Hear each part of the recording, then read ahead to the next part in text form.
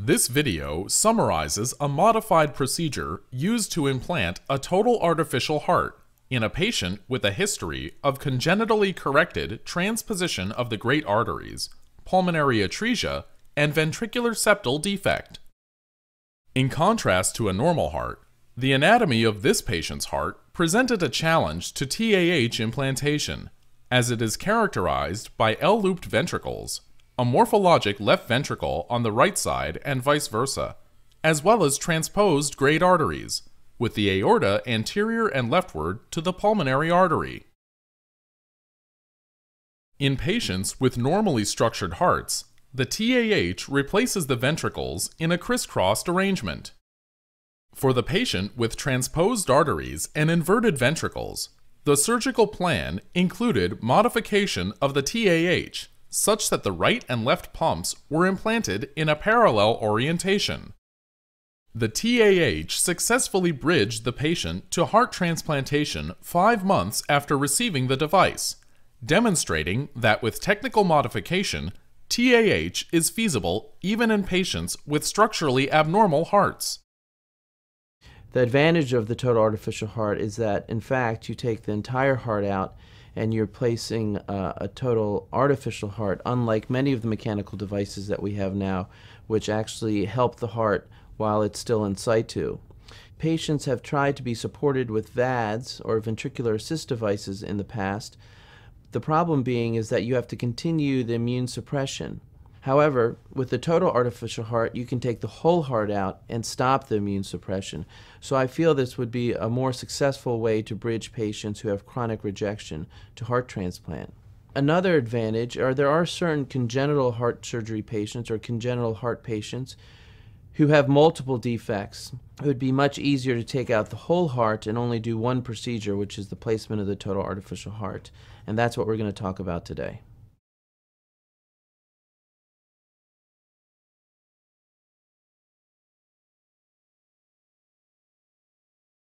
The cardiectomy began with standard preoperative patient preparation, followed by positioning, prepping, and draping in the normal sterile fashion for the repeat sternotomy.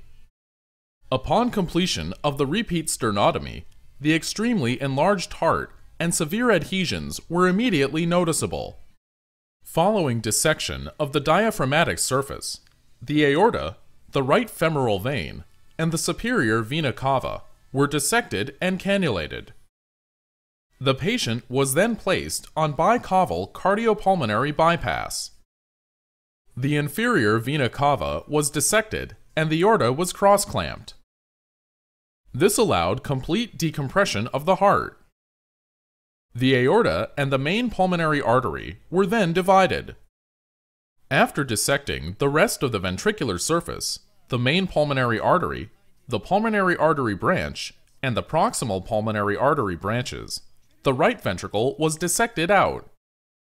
Approximately 3 to 4 millimeters of muscle was left below the right atrioventricular valve. The left ventricle was then dissected out, leaving a 3 to 5 millimeter cuff of ventricular muscle below the left atrioventricular valve.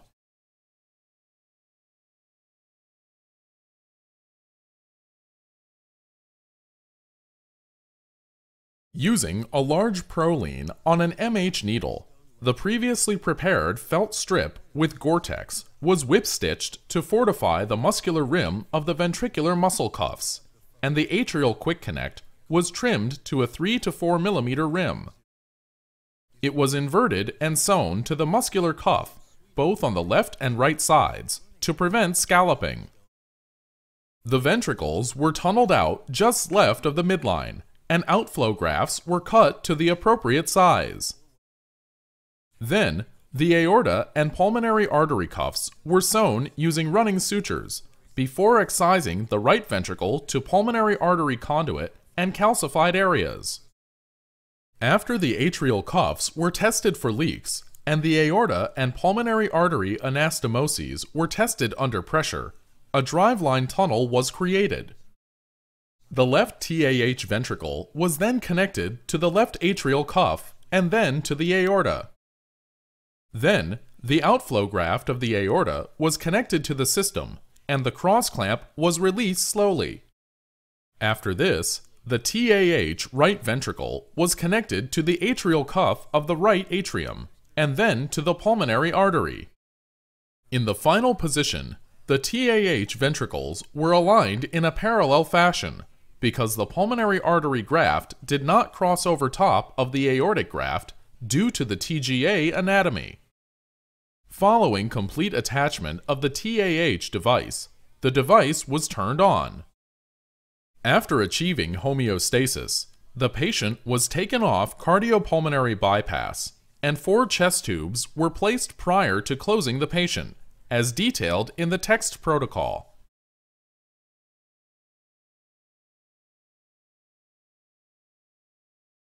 CT scans show CCTGA with L-looped ventricles and transposed great arteries in the axial view and the coronal view. In this case, the patient had severe aortic insufficiency and obstruction of a conduit between the left ventricle and pulmonary artery. The TAH was considered a better option than support with a temporary ventricular assist device which would have required multiple concomitant surgical procedures. Previously, patients with malformed hearts were not considered candidates for receiving a TAH due to the challenges presented by the unusual anatomy. This video shows that with technical modification, the TAH can be successfully implanted in a patient with CCTGA.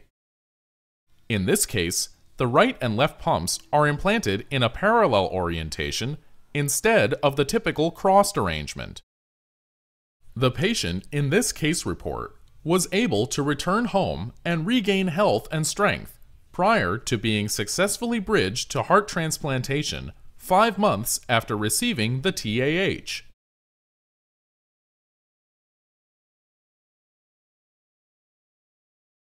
The reason we were able to discharge Jordan is because of the Freedom Driver, which is a new complement or driving system for the total artificial heart, which he can carry in a backpack or a satchel.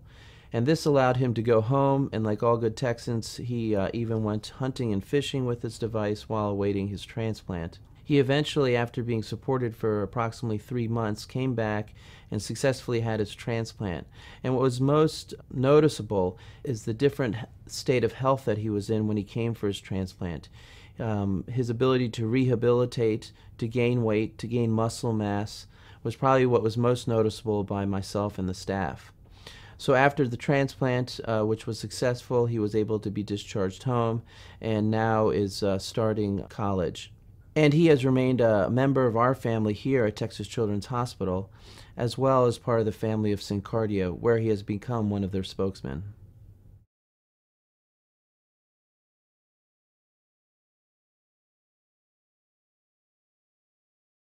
My name is David Morales. I'm a congenital heart surgeon here at Texas Children's Hospital. Today I have the privilege of introducing Jordan Merecka, who was the first pediatric patient to receive a total artificial heart from a pediatric facility. This is, in fact, his one year anniversary from receiving that heart, which allowed him to be successfully bridged to transplant. So, what was it like growing up with uh, a congenital heart defect? It was different in a lot of ways, but I led a normal life, really. Most of my friends didn't know until probably high school. Did you always think that you would have to have a heart transplant? Yes, sir. I mean, I always knew that I'd have to get one. I just didn't think it'd be this soon. Being connected to the machine was felt like I was on a six foot leash. Yeah. For a couple months. But then when you know when we introduced the Freedom portable driver, that must have been like a a huge relief to you thinking that you could actually walk around and have someone else following you. It was nice just to be able to walk outside without having to get my entourage. uh, but I remember the first day we went out of the hospital. I know we were on our way uh, to get some coffee, but what did that feel like? Uh, it was hot. I didn't believe y'all until I actually got to go outside. Yeah. But it was it was really really nice. Um, just to be able to be outside and not just look at it from outside my window. It seemed like when you were in the Freedom Driver, you, you, you started moving around more by yourself and being more independent. You can move around and do things on your own that you needed five or six people to help you with when you were when I was on the Big Blue. So, so then tell me, what was it like when you first left the hospital and went home? It was a good feeling. You started going fishing, I saw, and, and you did a little bit of shooting. I did go fishing and shooting. Yeah. What were you thinking when you first heard that we had a, a donor heart? In the beginning, I didn't believe y'all. How Relief? happy I was and just Yeah. thanking God that it finally come. I think that was a, a, a good day for everyone at Texas Children's Hospital. I'm here with Susan and Jeff Merecka, the parents of Jordan Merecka, and uh, we have some questions for you guys. I was just wondering, so what was it like for your family to have Jordan on the SynCardia Total Artificial Heart? you know, it it, was a definitely a blessing. I mean, Jordan wouldn't be here today had uh, the SynCardia not been implanted, and uh, the ability to go home and kind of have a normal family again. Uh, that was, you know, from our perspective, that was, you know, the, the best part of, of the journey we were, we were on is, you know, after six months, seven months, having Jordan back at home. So And do you remember our first conversation when we when I first introduced the idea of putting this device in? I remember you sitting down and showing us the device and beginning to talk about it and uh, thinking, wow, this is just an amazing piece of technology.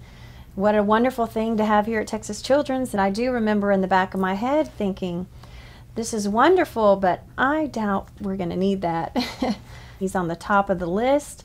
We've been here a long time now already, and surely a heart will come available and we won't need that technology. And the night of May uh, 21st, I believe, um, we were so thankful that that technology was available and that you were trained, that the SynCardia was here at Texas Children's ready to, you know, to be used and to, to save Jordan's life. And so it was truly a blessing. What did you feel like when you first saw him? The color that Jordan had. You know, that's the first thing I remember is that you know he had you know the normal color that